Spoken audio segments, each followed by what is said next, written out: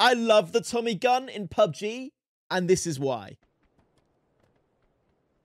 You're going to push this way or not? I'm going to push these guys now.